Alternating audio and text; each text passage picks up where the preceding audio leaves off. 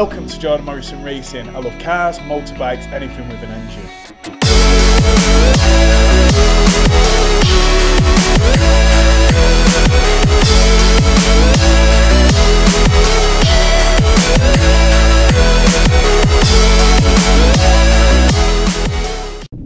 Hello guys, welcome back to the channel and good evening from a very sunny farm. Not your usual place to find cars, but we're here today and I'm coming meeting my friend Wes who's bought a standard road car and we'll be turning it into a race car.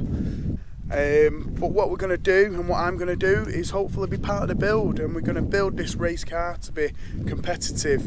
Um, if you look back from my previous videos, you'll see Wes is part of MLP Developments and they had the Mark II Golfs. Well, they're now venturing in to this other vehicle, which will be quite interesting. Let's go and have a look. You might want a bit of recline on.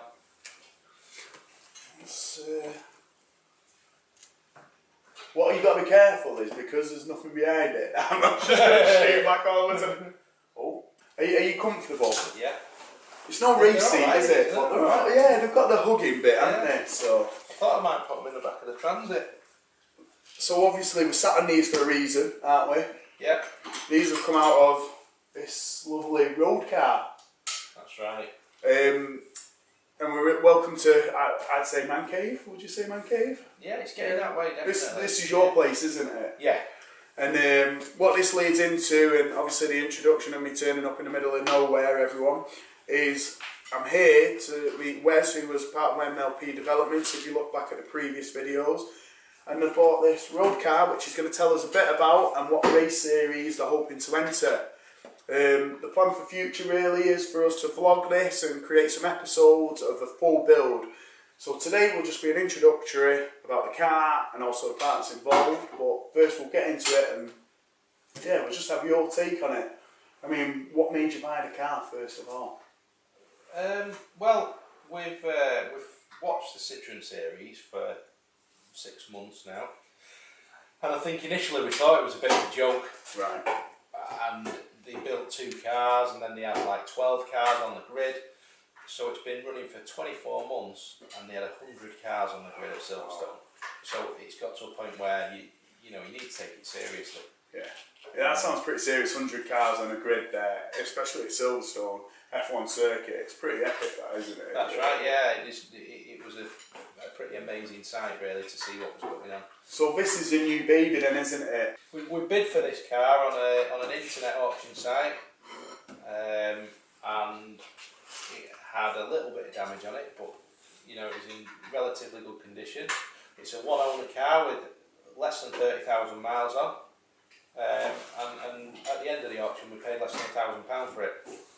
Right, so you basically bought this car, which you're going to turn into a fully fledged race car, and you've only bought it for under a thousand pounds, haven't you? That's Which right, yeah. Absolute bargain because when you mention racing and race cars, everyone thinks the sort of top end, don't they? Yeah, Well- absolutely. For me, and I've had a look at, uh, done a bit of research into the C1s, it is a sort of budget way into racing, but it's becoming more and more popular. And for me, it's more and more competitive as well because everyone's at a sort of level playing field, aren't they? Yeah, I think that what opened our eyes to it is that the C1 challenge is so well supported. So you go to the meetings and there's people there selling parts and these um, really strict regulations and, and they're, they're enforcing them all the time. So it makes the racing fair. Um, it's backed by Citroen themselves as well, I think, so that, that the actual manufacturer's involved. Um, so they'll release things like pictures and diagrams of the cars that you wouldn't normally be able to get. We've got Nankang on board who produce a specific tyre just for this race series. Yeah, I think I think you've seen them, and that was it's got C1 literally etched into the tyre as well, yeah. hasn't it? Yeah, And in terms of like the ECU, the ECUs are all sealed, aren't they? that's right, yeah. Um, so- sealed, ECUs are sealed. So would you say that the racing is more driver ability? Absolutely, yeah. I think with endurance racing, there's some driver ability and some luck and Okay. preparation that, that they'll always come into play in it. And especially with the endurance, there's a lot of technical sides that people don't realise. So working out your fuel amount and the best time Absolutely, to yeah. fuel. But one thing that I would say about this car is we're not going to build it to go and compete. We, we're going there for one reason, and that's to be at the front of the grid and to win races. Wow, you sound pretty serious about this. So. Yeah, absolutely. So yeah. this isn't. We're going to have a bit of fun. We're just building a, a race car to have a bit of fun. You want this car to be as competitive as possible, really. Yeah, I think with a potential advertising medium like a C1 challenge and the fact that it's got 24 hour TV coverage and things like that, It's quite big, yeah. yeah, we need to screen what we're doing, who we are, and, and get it out there. So what's the plans for the car colour and livery? Have you got any ideas yet, or will that all come? I think because it's such a nice car, it'll get polished and um, It's be. actually very good nick, isn't yeah, it? yeah, it's, really? a, it's a lovely little car, yeah. There's not many 59 plates that have got about 30,000 miles on No, these no. days either. No, not at all. I know when we were looking for a car, they were saying that if they've got so- over 75,000 on, really the engines aren't going to last too well. So we bought the lowest mileage one we could to try and just, you know, keep Yeah. it keep it as it should be.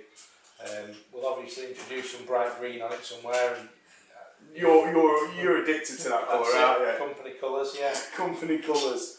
So what does all this cost? Obviously we're looking at about a grand for the car and you know, just for people that are watching that are thinking, oh I'd love to do that, I think I could get into C1 racing.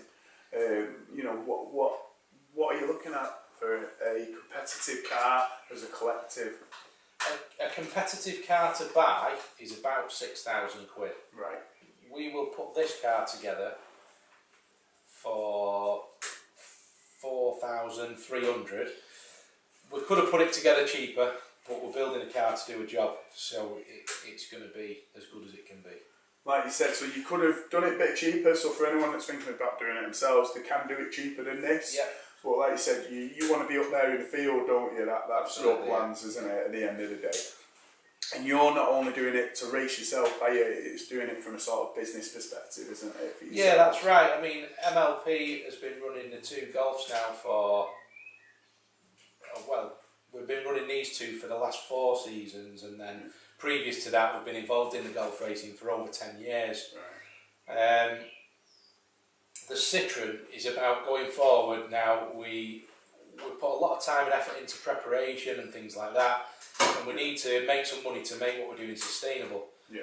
So we've gauged some interest um, around the paddock and, and in other areas and people that we know, and we feel that we've got we, we could field a good team of drivers Yeah. for the car. Um, who were excited about the prospect of you know getting into a new race car yeah, and, yeah. and trying something new. And like I said, this will be a fresh build for him, won't it? Yeah, Um, obviously, prior to you racing, you're going to have to iron out any niggles with the car yeah, and get some testing done as well. that's right. But yeah. from there, you're pretty much good to go, aren't you? yeah, Um, and with you already having that background and experience, you're not novices into racing, which is good. You've got some experience there, so I do think this car will do very well once it's finished. It's quite interesting because if I brought anyone here, especially my mates, and I was like, "Yeah, yeah, and have a look at this potential race car," what would everyone's first thought be? It'd be like, "No." But yeah, they do look a bit more like a shopping car than a race car. it does, doesn't it? When this car's built, as you'll see in the in the video to come, it, it will be a serious piece of equipment. Well, I seen you sent me a video when it was of the uh, YouTube start at Silverstone, and I have never seen anything like that. And it's like wacky races on steroids or something, isn't it? Yeah. They just the grid just keeps on coming and coming, and you're like, when are they going to end? When are they going to end? They're never ending. Um, and then you can see how competitive it actually is as well. Yeah, So the to, for 99 cars to come past takes like over a minute. You know, off the start grid, it's just uh, it's a spectacle, really. So we got onto just briefly equipment for the car. Um, you know, there is a massive spec list that you can buy for this car, and that's straight from C1 Racing Club, isn't it? Some of it's from C1 Racing Club yet, and then we source. They, they'll be specific in telling you exactly what part numbers you can use for parts, Okay. whether they're selling them to you or not. Right. So you, you then have to go out about just finding the best prices. Sourcing your own, yeah, yeah. you can have buy from them direct or sor- source your own Yeah. as long as it's within the specifications what they want for racing. Yeah, Um, you're good to go really. And I believe in the man cave you've got the car and you've also got the parts ready, haven't you? yeah, we've got all the So you've parts ready to sourced them all. yeah. So should we go and have a look? Yeah, absolutely. Yeah, cool. Let's go and have a ganders.